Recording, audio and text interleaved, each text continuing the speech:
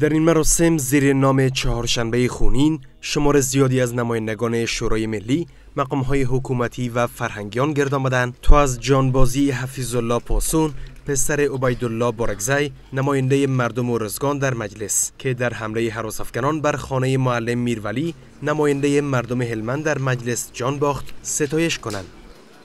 همچنان پر مخالف لوری طالبان بندی رخت چې بس دی نور په صداقت په خبرو کاغذ پرانۍ وخت مه تېروئ په صداقت صلح ته غاړې کښېږدئ نه چين ستا جوړه درکوي نۀ روس کوي. نو ملا هبت الله چې ته اوس ولاړې د روسي غلام شوې دې دا روسيان ما پر ګونډو کړل ته اوس غلامي کوې دغه. حامد کرزی رئیس جمهور پیشین نیز در یک تماس تلفنی این حمله را نکوهش می کند و به خانواده های کشته شدگان تسلیت می گوید. دا د افغانیت لاره ده خو پر هیڅ لار نه سره جوړیږي پر کومه لاره سره جوړیږي په کوم کتاب کې ته د یو کوچني د لسو کالو لسو کالو کوچني هلک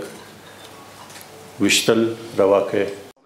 گلبدین حکمتیار در پیامی به شرکت کنندگان این مراسم تأکید می ورزد که طراحان حمله ها بر غیر نظامیان به کیفر اعمالشان خواهند رسید.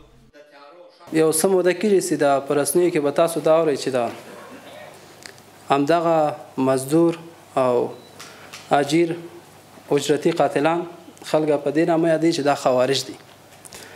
خوارج په دوی ډیر زیات شرف ده در حمله حراس افکنان بر خانه معلم میرولی نماینده مردم هلمند در مجلس هشت تن کشته شدند و چندین تن دیگر زخم برداشتند طالبان مسئولیت این حمله را پذیرفتند